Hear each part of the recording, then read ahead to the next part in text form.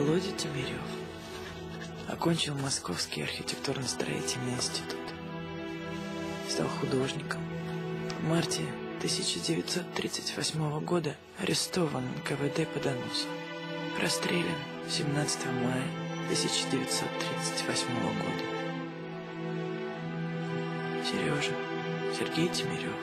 После ухода Анны возглавил военно-морские силы Белой армии на Дальнем Востоке. Эмигрировал в Китай, служил капитаном рыболовного СУ. Умер в Шанхае в 1932 году. Софья Колчак. После бегства из Севастополя жила в Париже.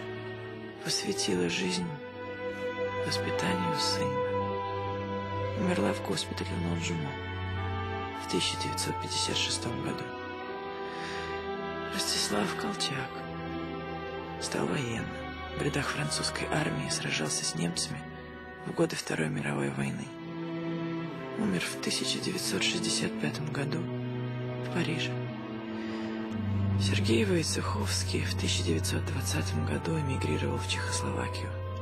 В годы Второй мировой войны был военным министром подпольного чехословацкого правительства.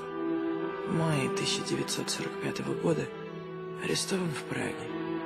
Умер в 1951 году в озерном лагере под Иркутском.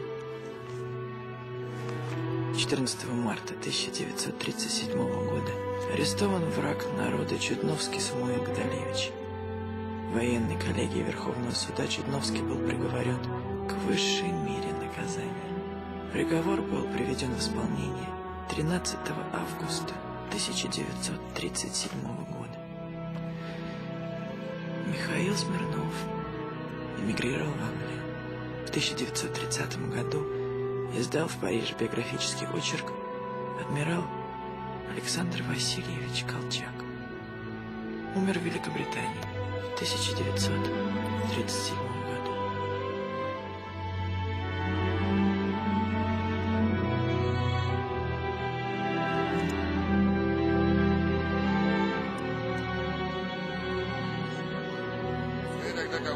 Поцелуете. Тогда поцеловать первого, кто войдет в эту дверь. Да, только страстно, из чувства.